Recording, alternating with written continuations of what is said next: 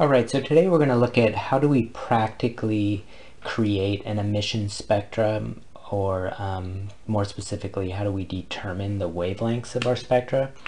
So let's say for example we have a tank of gas here and we're going to go ahead and excite the gas. Uh, we could use this with light, we could use this with heat, we could use this with um, electrons. Let's say we bombard this with a bunch of electrons for example, we could take um, a plate of positive and negative uh, charge and go ahead and excite it.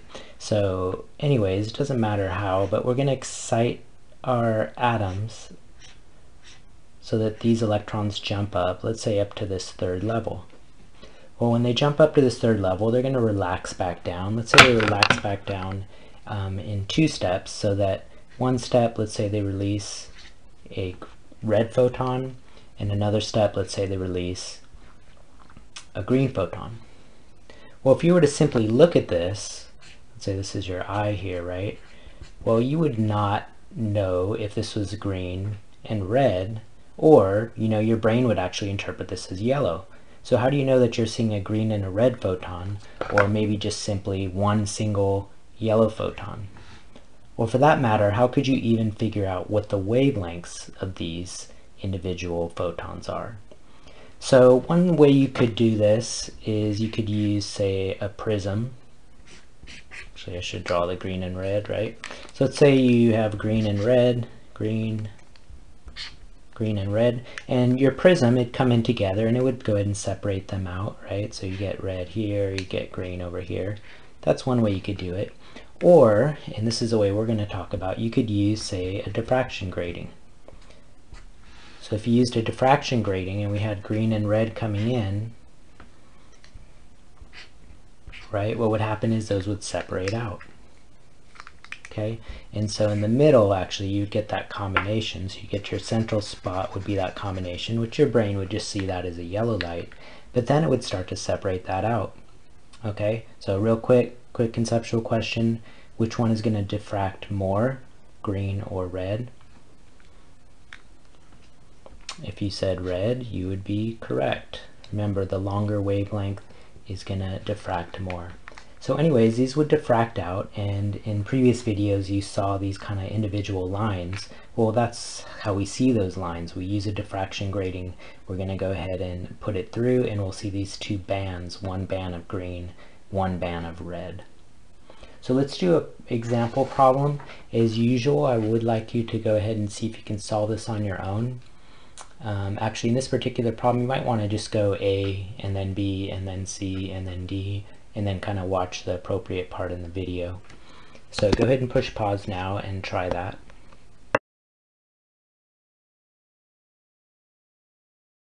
Alright, so I go went ahead and drew this out for you.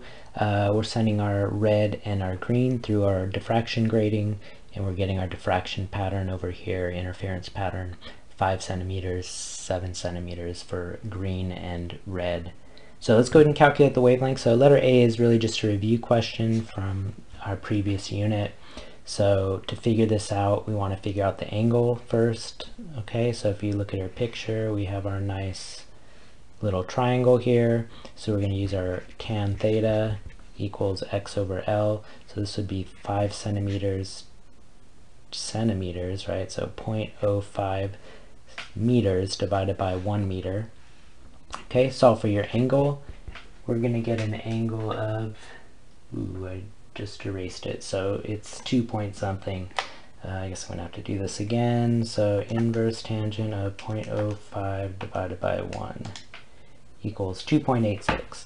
So our angle is going to be 2.86 degrees. Notice that it is a small angle, so for the red, I'm just going to go ahead and use the approximation to calculate that one out.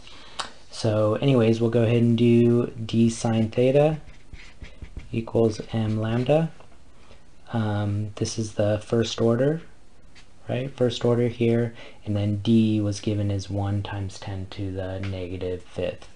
So 1 times 10 to the negative fifth sine of 2.86 equals 1 lambda. Solve for lambda and we're going to get 500 nanometers. Okay, go ahead and repeat for red, or you can use the approximation, and for red you should be getting 700 nanometers. Hmm, I wonder how we got such nice numbers. So letter B, let's figure out the energy then of each. So to figure out the energy, we're just going to be using our E equals, use green. We're going to be using our E equals HF, or, and remember F is equal to C over lambda. So we'll go ahead and use this. Um, remember, we are going to be using the H for um, electron volts because the problem asks you to put it in electron volts. And for Bohr models, we're going to usually be using electron volts. Actually, I think we're always going to be using electron volts. Um, and then our wavelength, we'll go and do 500. Okay, calculate that out. And you should be getting an E of about 2.5 electron volts for the green. All right, repeat that for the red. For red, you should be getting an energy of 1.8. You always want to make sure your answers make sense. Green, remember green is higher energy than our red. Okay, so our answers look like they're on the right track. Okay, letter C is saying what is a possible energy level diagram? So remember, the problem said that at the ground state we were at negative 20 eV. We're going to excite up to the third state and sub subsequently release two photons. Okay, now what two photons, the order of what they do, um, could be, they could be different, right? You could release red first and then green, or it could release green first and then red, and that would change what you get. So I'm just going to do it as red and then green.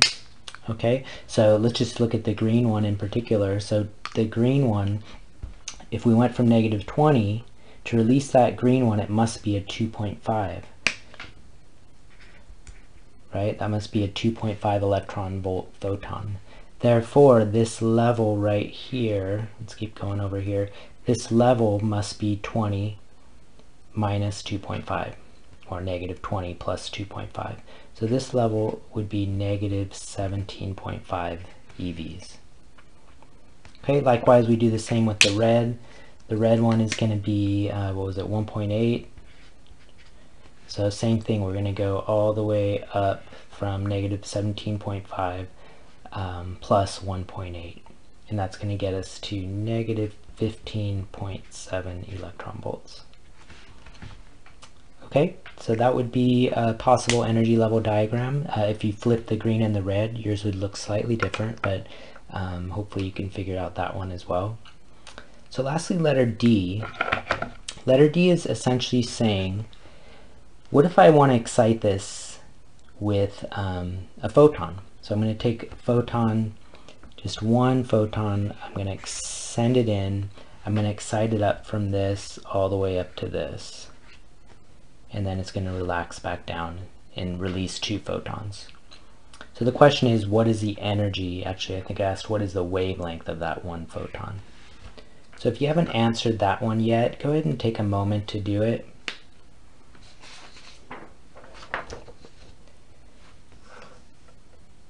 So um, let me just go over the, the most common wrong answer I see. This is what I see people do all the time. They'll say, oh, this one was 500, this one is 700, so 500 plus 700 equals 1200.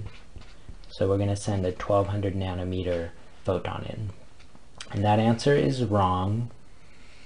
Okay, conceptually it's wrong because this is energy. We're, this, we're talking about energies here, not wavelengths. And so you can't just simply add the wavelengths. In fact, 1200 nanometers, if you remember, is a lower energy than either of these. So essentially you're saying, oh, I'll put lower energy and excite it up. All right, so what we are going to do though is we're going to first figure out, well, how much energy is needed. So if we want to go from 20 to negative 15, right, we're going to go from negative to negative 15.7.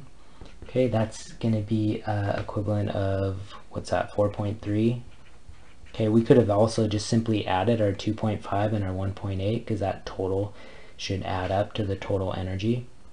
Okay, and then just one more time, we'll go ahead and do E equals hc over lambda.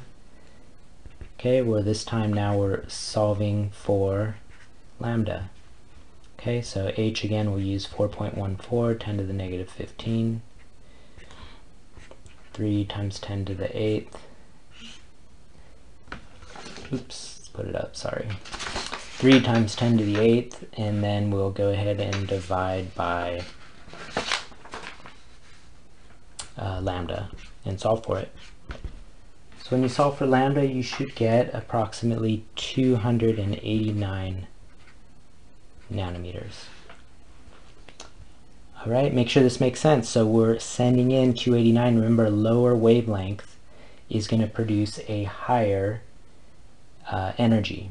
And so you have to produce more energy, more energy to start with, and then that amount of energy is going to equal the two energies that got released down here. By the way, what kind of light is this? Anyone know? It's not blue. This is going to be ultraviolet. And ultraviolet, remember, is a higher form of energy than our visible light. Um, by the way, black lights. Think of black lights. Black lights are essentially sending in ultraviolet. And so if you look at clothes, for example, under a, a black light, essentially you're sending this high energy up and on your clothes, when it relaxes back down, it releases those photons and that's why it looks like your clothes are glowing because it's releasing all these various colors from your clothes.